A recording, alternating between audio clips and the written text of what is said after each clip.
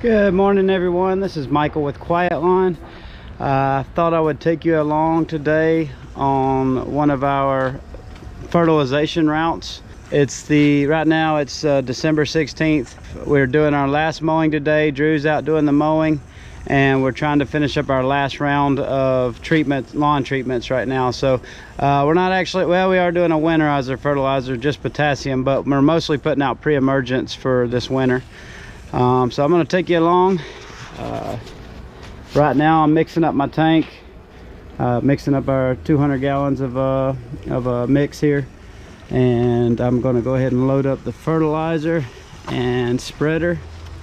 Uh, the fertilizer we're putting down we have warm season grass so it's completely different than cool season grass. So if you're in an area where you have cool season grass disregard any of this advice because it's a whole different ball game but uh, we are putting down potassium only uh, which is great for the root system. A lot of problems we have over the winter here are problems with disease because it stays so wet and the grass is dormant and it's not soaking up uh, you know much of the water. So it just uh, creates a lot of problems with disease and potassium will really help uh, strengthen up the root system and kind of uh, you know kind of reduce damage from that disease so we're putting that out and then we're putting down a pre-emergent for our grasses to prevent things like poa annua, which is a problem everywhere, and other weeds you get in the winter.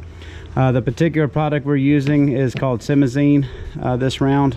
Uh, it's a great product for warm season grass, um, but that's what we'll be putting down. And I'll strap the end of my uh, chest mount, uh, GoPro chest mount, and let you watch how that works. Um, as far as equipment for weed control and fertilization, you could really start out with a uh, just a backpack sprayer and a push spreader. Uh, backpack sprayer I would recommend would be one by Flowzone. Uh, you can get a four gallon backpack sprayer that works really well.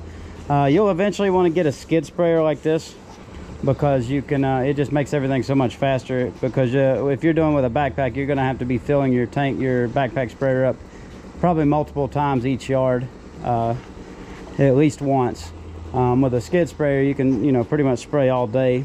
Uh, and, you know, it's just a lot more efficient. But if you're just starting out, you know, it doesn't make sense to buy a five, six, seven thousand dollar skid sprayer uh, to, to, treat a couple of lawns.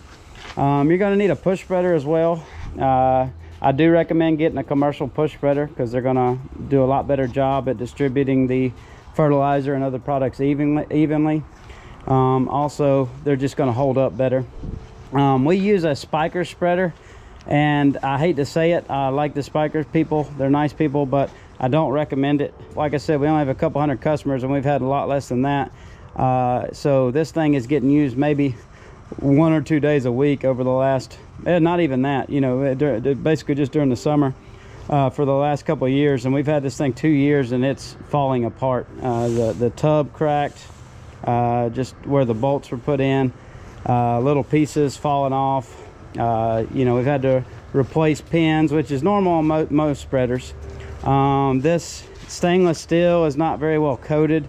Uh, it's, you know, it's rusting. We, we wash this thing off every, every day when we fertilize it and it's still uh, rusting away kind of.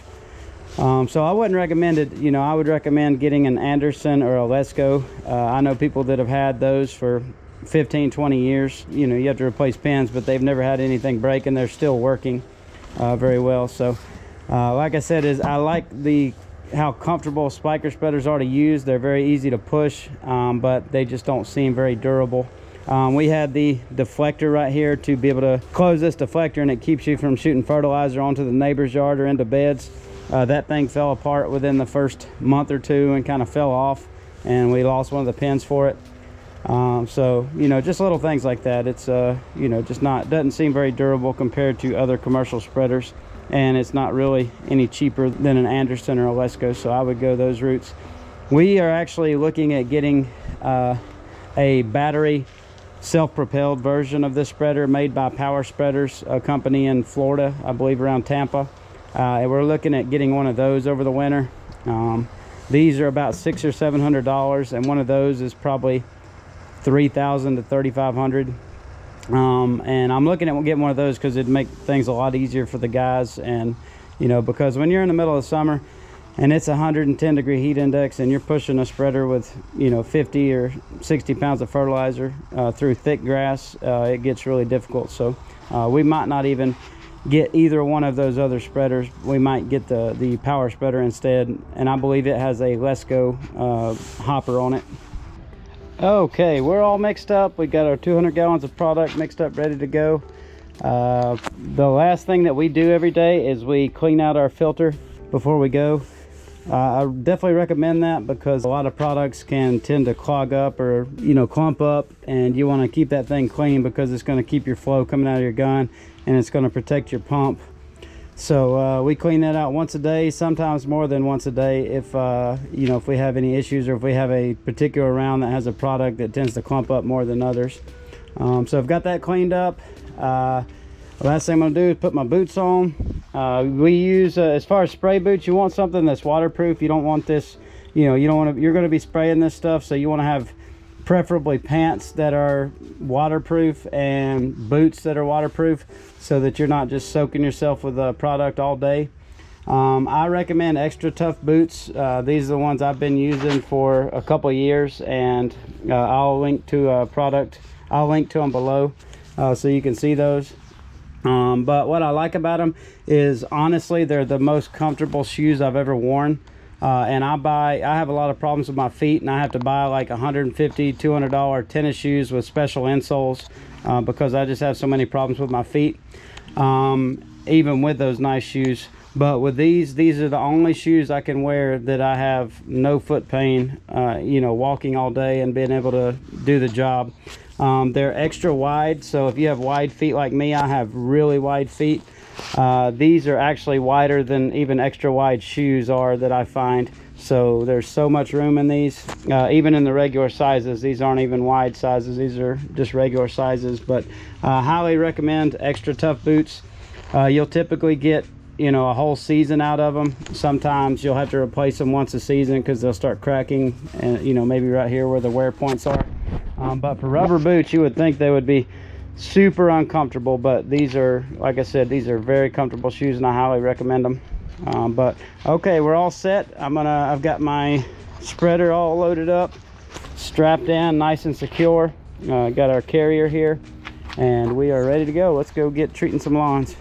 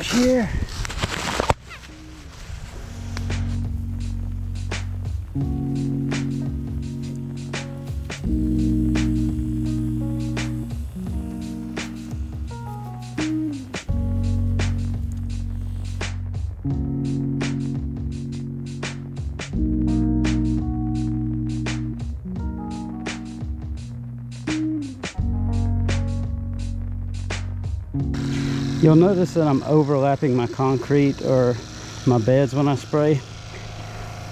If you don't do that, you're gonna get uh, poor coverage uh, and you're gonna have a strip of weeds or poa annua around the perimeter of your lawn. So you need to make sure you're getting a good even coat over the whole lawn. Go ahead and spray this strip by the road while I'm here.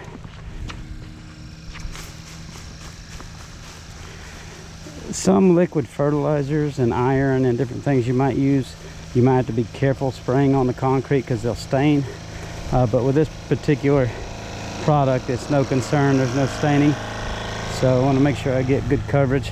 Some things you spray you have to be real careful. See I'm walking at a good consistent pace to help regulate how much chemical I'm putting out how much product also watching not to get on my house as well. It's not an issue with this but same staining issues can occur with uh, fertilizers and things. I'm also not spraying my bushes or trees because you know these products will harm anything that's not grass typically you can see their backyard they've added astroturf so obviously no need to treat that. Looks good.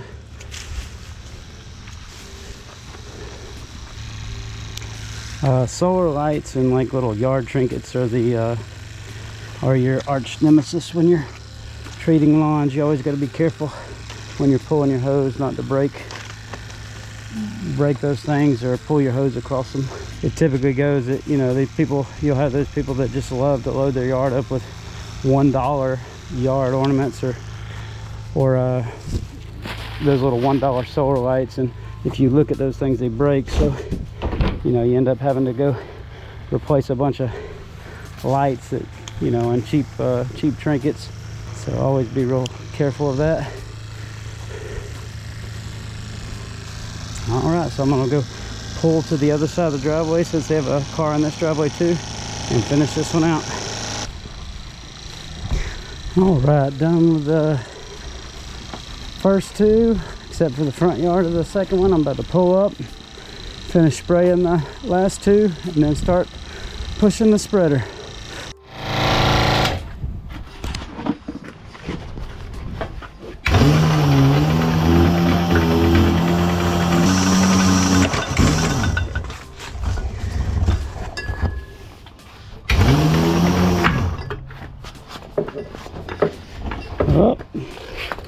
see that's a little thing that I've forgotten because I've not been doing this enough is to and uh, twist my hose as I come back to the truck so that I don't have kinks like that that slow me down. All right, let's move up and finish.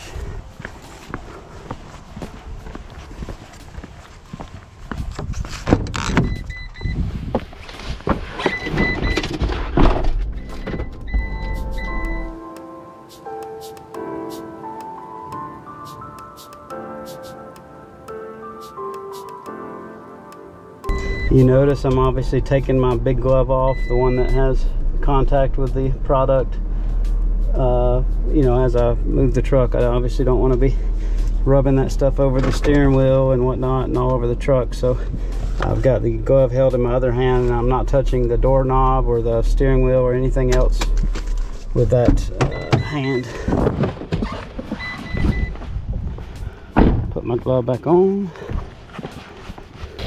it's really hard to tell. I've learned you know from just making the videos that we make that it's really hard to tell how loud something is from video because all of this stuff you know all the electric equipment we have sounds way louder on video just because how the microphones work. Um, but this pump is really quiet this electric pump we use. Um, you know i'm just i'm almost whispering to you right now and i'm 20 feet away from it much quieter than a gas engine, a gas pump that most people run with a Honda engine or Kawasaki that you can hear, you know, two miles away. Route density is so key to profitability. Uh, you can see like every stop I'm doing two, three houses on most of them or one and then having to drive, you know, I'll be in the same neighborhood for probably half the day doing maybe 15 or 20 lawns and then I'll be moving to another neighborhood where I have about the same amount to do. But if I was doing a lawn and then driving 10 15 20 minutes between yards you know I would only, I wouldn't be able to get half as much done.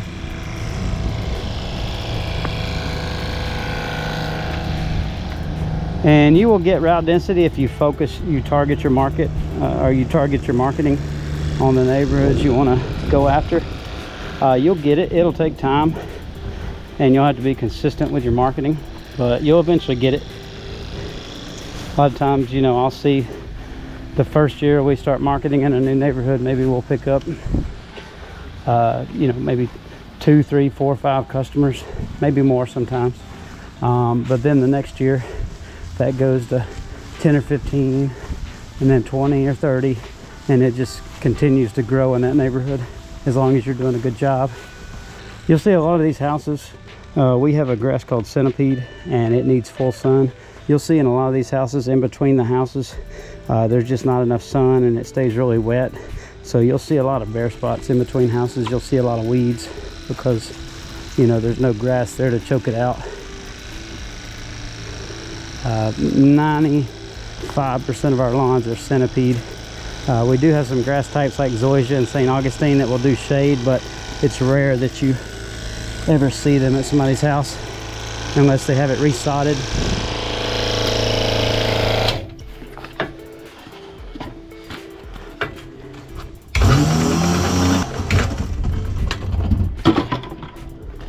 But uh, going back to the grass thinning out, that's why it's so important to be upfront with your customers about what you can do and what you can't do. Uh, you know, in situation, you know, so because some customers think that if they hire you, that they might have that area in between their houses that's never had grass, and they think that you're going to come in there and be a miracle worker, and because you're fertilizing the lawn, all of a sudden you're going to be able to get the grass to thicken up in those areas. And you know, the thing I always tell people, you know, if I can't make grass a plant grow in a condition that God didn't intend it to grow in so you know if that's uh you know I can't make a grass a full sun grass grow in the shade you might be able to keep it a little bit healthier or do you know do some benefit but eventually that grass is going to decline um, because it's not the right grass for that condition and that at that point I would recommend them to change it out to a grass that's more suited for that condition zoysia or St. Augustine I hope this is helping you if you're curious about adding the service because when I started there were no courses to teach you how to treat lawns uh, not that I knew of and this was probably four years ago. Uh, you know you can find all kinds of videos on how to mow how to do all that stuff but there was nothing like that for spraying. You know how do you do it? What do you what pattern do you follow? What not? But I believe there are courses now. I think Jason Creel with Lawn Care Life might have a course. I haven't checked it out, but I've, I've heard it's pretty good. One of the most helpful people, hopefully, uh, for you when you do this kind of business is going to be your rep from your chemical rep from where you get your products. Uh, my guy Brian from Triangle Chemical is awesome, and he actually trained me and my employee at that time to spray and fertilize. He came out and he spent several hours with both of us to teach us those things because like I said there was it's not something you can just you can but uh, you know it's not smart to try to learn something like this on your own. And he came out and spent several hours of his time. And you'll probably get to have that same opportunity you know with your uh, with your rep because a lot of those guys used to work on golf courses or they used to treat lawns um, and you know it's a benefit to them because they want your business to grow because you're going to buy more product for them so it's a win-win situation.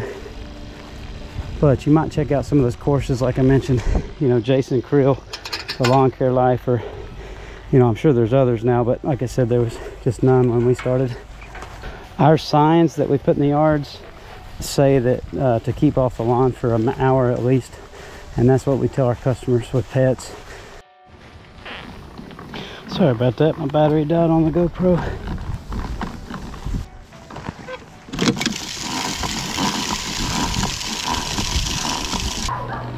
All right. Got our fertilizer out, we've got our pre-emergent out.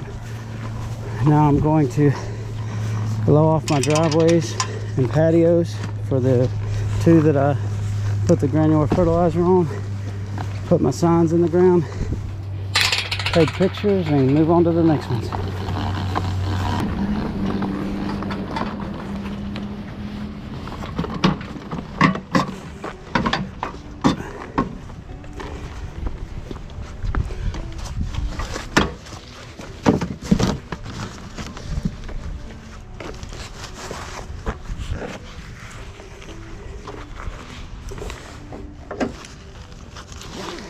You definitely want to strap your equipment in well. I have had this come off the vehicle with the guys while they're going down the highway. Luckily luckily nobody was right behind them but you want to make sure you strap your equipment in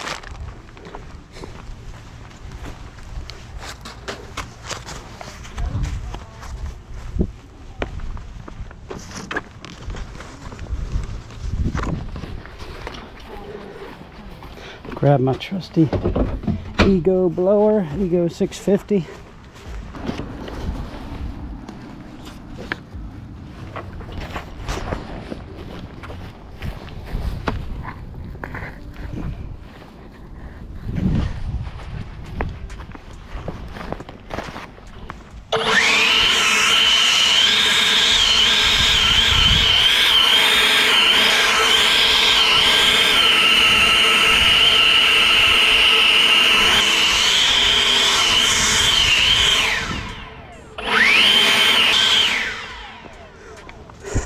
I would on the driveways if that deflector wouldn't have fallen off of the spreader. Uh, I could, uh, you know, I could put that deflector, deflector down and kind of keep stuff from, it's kind of like a chute blocker on a mower. I could keep a lot of this fertilizer off the hard area.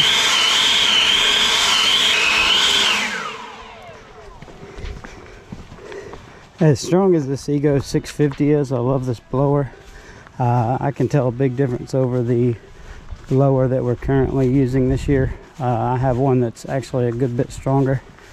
Uh, we're not, it's not on the market yet, and we're not allowed to uh, share it with you yet, but I hope we are able to within the next year or so. But uh, this Ego is awesome. It's the best thing on the market as far as I know uh, that's actually available. Um, but this one's even even better by a good bit. So hopefully I'll get to share that with you in the near future.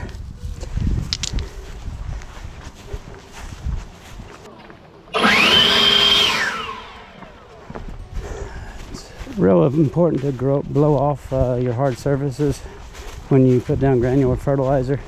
Not so much for this because it's just potassium, but anytime you're putting down nitrogen or anything with iron in it, uh, you're going to get those rust stains on those hard surfaces. So if you don't blow this off and it rains or you get dew or they water the grass, you're going to have all these little iron stains all over the all over the hard surfaces.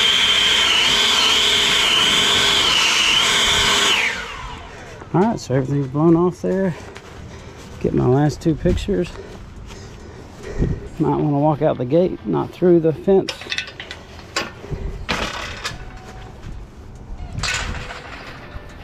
Took me a little bit longer on these. I was pretty slow. Plus I had to stop a couple times to fool with the camera but look at it like about an hour for all three properties. Which still isn't too bad at all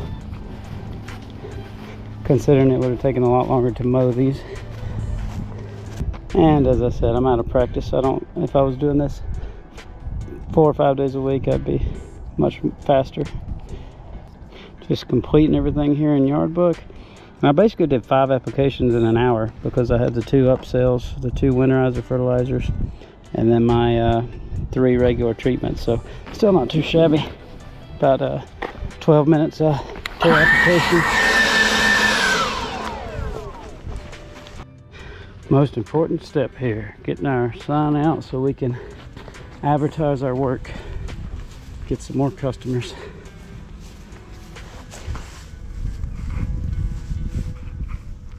All right i'm putting my sign so that it's an angle at an angle where people driving by can see it people walking here on the sidewalk can see it.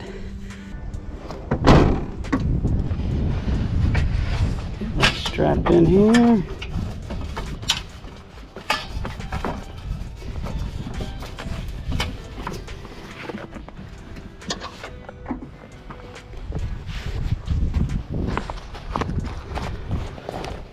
some agua.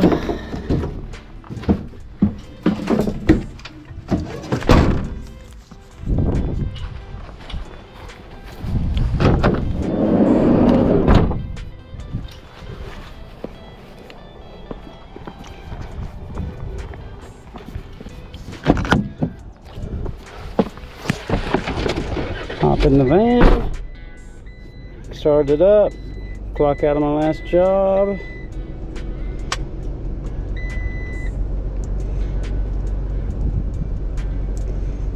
And we are complete hey guys i just finished up it's five o'clock i started uh, at the shop at nine and it took me about an hour, an hour, you know, to get to the first property after mixing everything up. Uh, went well today. I did have to stop uh, for about 45 minutes or an hour to replace a sprinkler head for one of our customers. Uh, and also chit-chatted with a lot of customers and, you know, handled a lot of emails and stuff from the office, you know, different different things that I had to deal with. Um, but still, all in all, I uh, ended up uh, completing or servicing 18 different customers. Uh, I seven of those uh, had the add-on winterizer fertilizer, so that's almost like an extra application. Um, but it was a good day. Uh, you know, I'm when I'm in the practice of things, I probably could have easily gotten well over 20. Uh, and you know, after a few more days of doing this, I'll probably be back up to you know regularly getting you know 25 or so properties a day. But i'm rusty. I haven't treated lawns in a couple months. And uh, you know i've uh, mostly been leaving it to our uh, technician kevin. Um, but uh, but yeah it was a good day. Uh, you know a lot of production uh, with a one-man crew with mowing. You know you're you're lucky to get four four to five hundred dollars a day maybe sometimes 600 in production. With weed control and fertilization you know one man can like today probably did 1200 plus. Now you know 20 to 30 percent of that is going to be cost of materials you know your your products your your chemicals and things. Um, but you know it's still you can generate a whole lot more revenue uh, per hour labor revenue per hour than mowing. Um, but like I said you've got the other downsides. You've got uh, you've got a big liability if you uh, do something wrong and damage someone's property uh, it's a lot bigger learning curve. You have to really know what you're doing. You do have the chemical cost. That's a, a big part of it as well. Um, and, you know, it just depends where you're at in the country. Some guys, you know, there, there might be around 20% material costs and some guys might be closer to 35 or 40 depending on where you're at because, uh, you know, a lot of cool season grasses take a lot more fertilizer. Um, but it's a good business overall. I enjoy it. Uh, I'll be much more excited when we have a lot more customers for that service uh, when I at least have one full-time technician. Um, but uh, but yeah, it's, it's definitely an appealing thing. Uh, if you're just starting out, I would recommend just focusing on mowing and simple services uh, because it's just a lot to learn. And like I said, you're going to have to get uh, hundreds of customers before you know you really have enough work to keep you busy. Uh, it would be very hard unless you just had a ton of money or you had you know had somehow connections with lots of customers that you could you know start out the first year with with uh, with enough to keep you busy it would be very hard unless you just like I said you had a big chunk of money to live on for a few years to start off just treating lawns uh, I know a lot of guys eventually transition into that from mowing they'll you know they'll start out with a mowing business and landscaping and they'll eventually uh, you know, kind of move towards having a, a spray only business. Uh, that's not my intention. I, you know, I have a, a lot of uh, goals with our business and I like what we offer. Um, but, you know, a lot of guys do eventually end up to end up just treating only. Um, so just finished up. Took me about, you know, like I said, eight hour day between mixing and everything. I'm heading back to the shop now. I'm going to uh, empty out my fertilizer uh, spreader, uh, go ahead and rinse that out put my uh, work phone back in the shop, lock everything up, and then, you know, get ready to do it again tomorrow. So I appreciate you coming along with me. Uh, sorry I didn't get to take you with all the properties, but, you know, like I said, it ended up being a seven or eight hour video.